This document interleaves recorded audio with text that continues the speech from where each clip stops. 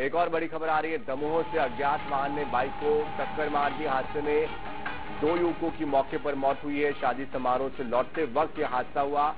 अपने गाँव सिमरा हजारी पथरिया ये लौट रहे थे। सागर नाका चौकी के पावर ग्रिड के पास की घटना। है